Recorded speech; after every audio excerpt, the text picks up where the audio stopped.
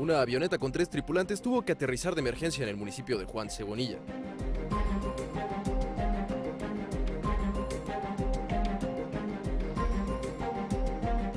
La aeronave Cirrus 22 con matrícula N1223C se dirigía al aeropuerto de Huejotzingo, pero una falla mecánica obligó al piloto a descender en campos de cultivo de la localidad de Santa María, Zacatepec. El incidente fue reportado al número de emergencias 911. De inmediato se movilizó personal del municipio, de la Secretaría de Seguridad Pública, así como una ambulancia aérea y una unidad terrestre de Suma. Paramédicos revisaron a los tripulantes. Se trata de dos hombres y una mujer. Sus nombres son Eduardo, Bruno y Mariela. Los tres fueron trasladados vía aérea al Hospital Rafael Moreno Valle.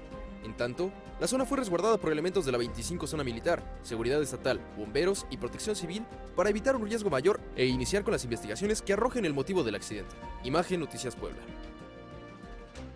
Ninguno de ellos se encuentra grave, por fortuna. Venían de Tehuacán, iban a aterrizar, estaban a pocos, a pocos kilómetros de aterrizar en el aeropuerto de Huejotzingo.